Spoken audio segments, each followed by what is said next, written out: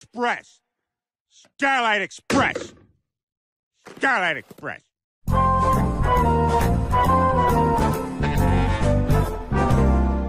Stewie, look, a butterfly. Oh no. Hey, Chris, do you know your back knee spells Citibank in Braille?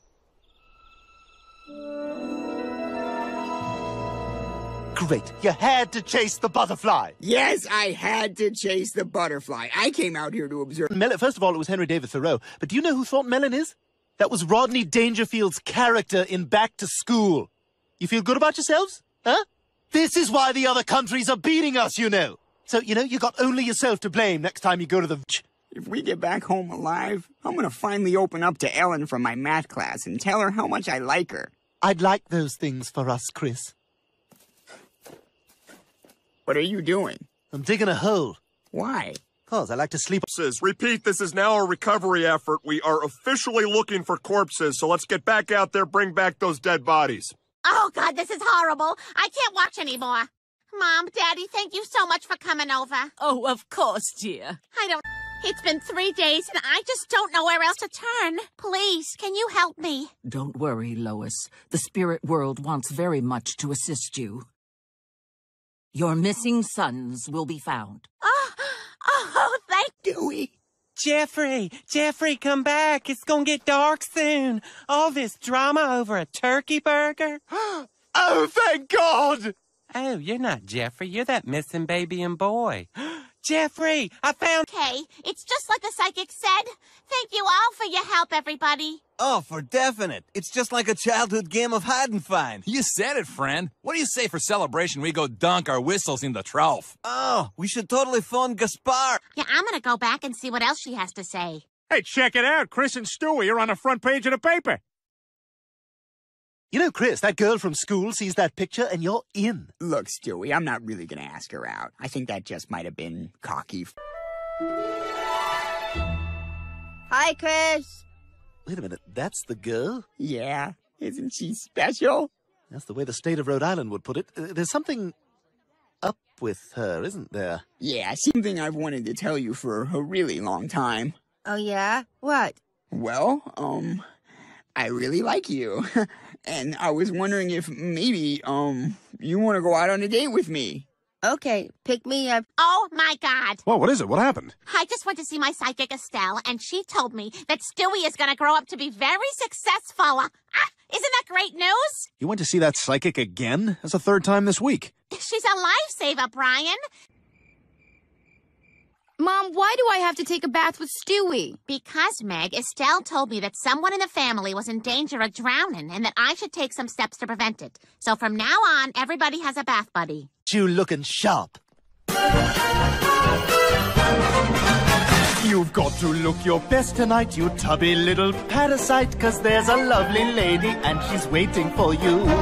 And though her pretty face may, you must impress that ultra booming, all consuming, poorly grooming, down Cinderella girl. On any normal day, you reek as if you're on a farting streak, your fingers up your nose. Her eyes are emerald portals to a secret land of love. And her smile is like the sweetest summer flower.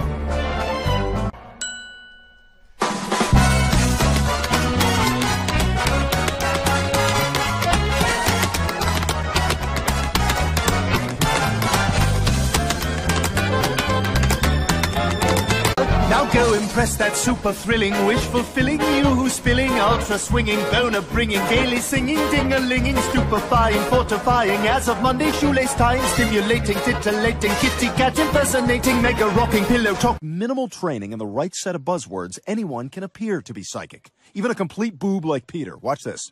Excuse me, ma'am. I'm psychic and I'm getting a strong feeling from you. Do you have a watch or clock that no longer works? Wow. Estelle told me. All right, look, can we just go home now? Come on, Peter, let's go. Brian, I felt something just now talking to that bitch cancer widow. I think I may have a gift. Peter, we were just doing a demonstration. No, Brian, this is real. Remove all traces of unease and doubt, and I will tell you your future. What is it, Peter? You will die in a plane crash and be reincarnated as a prophylactic. All right.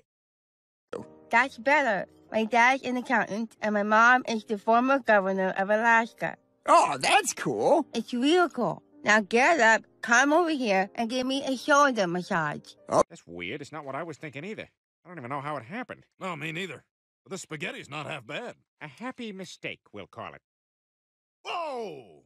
Huh, I gotta email that to Babs. She hates people. Huh, got a new email here. And it's from a Nigerian prince. It says he's got millions frozen in an account. All he needs is a hundred grand to pay legal fees.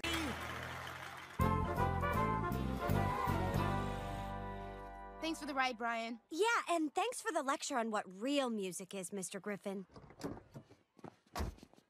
Jeez, how many Snickers could they eat in a five-minute... She's got a smoking hot body. This is a bigger surprise than when I found out Joe was a clown. I think that belongs to me. I'm sorry you had to find out this way. Okay. What? What are you talking about? It's the oldest email scam out there. The assets are frozen, you cover legal fees, blah, blah, blah. Oh my god, he did say blah, blah, blah. You're never getting that money back. What? So that, that money's just been Josh Hartnett from Carter Pewterschmidt. I am going to Africa and get my money back. And you're coming with me. Africa? We're going to Africa? I wonder if it will change us. But of course, it did change us. I've been working here for 50 years pretending I'm a woman. Do- Uh, Carter and I are going away for the next week or so. You are?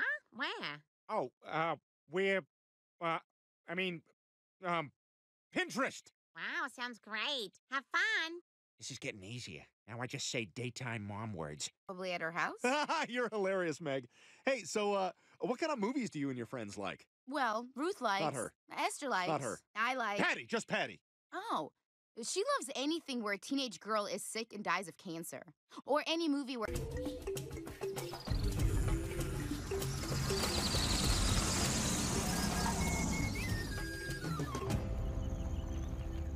Wow, there's so much wildlife in Africa. You know, they say there's some animal species here that. ha- Burger. Aha, I get it. If you do not work on my rubber plantation, I will burn your tongues. Oh my god! Hamburger.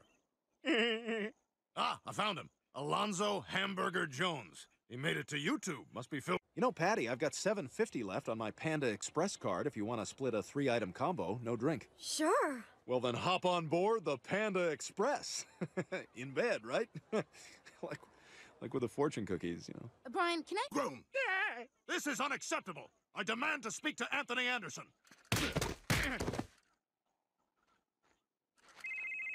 Okay, hold on. Shoot me if you must, but it is imperative that I answer this call.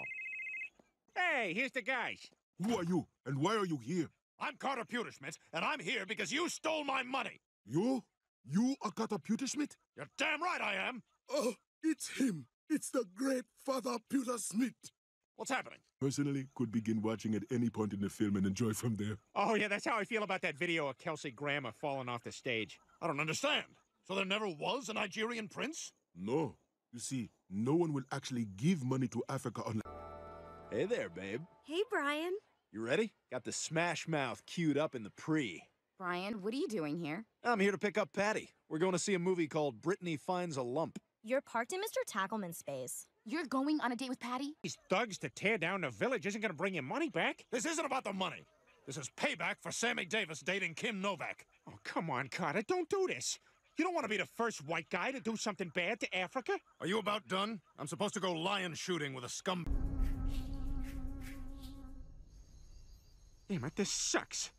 I may never get out of here. Well, as a man falsely imprisoned in Africa, I have no choice but to write a memoir of my struggles. Chapter 1. Harry, take this, Chibo. Take this to a French Canadian flight attendant, and he will give it to everybody.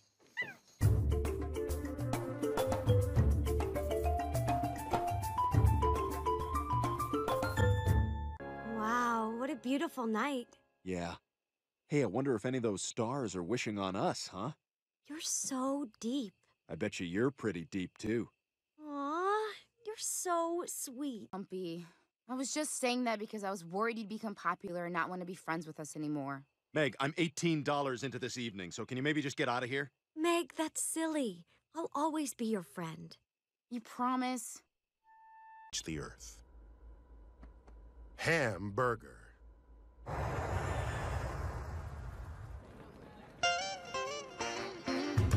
There's a great man locked up in a cell. The African folks all know him well. To go. Now, wait, let me get this straight. None of you guys has ever heard of Bono? He says he knows you. Daddy, what the hell are you doing? You throw Peter in jail? Hey, Pumpkin, welcome! Whatever you do, don't tell them you have a clitoris. Yeah. Daddy, I don't understand any of this. I mean, you've always been grouchy, but why are you being so mean spirited? What's gotten into you? What's gotten into me? I'm angry! For God's sake, I can't even be left alone in my own house for an afternoon.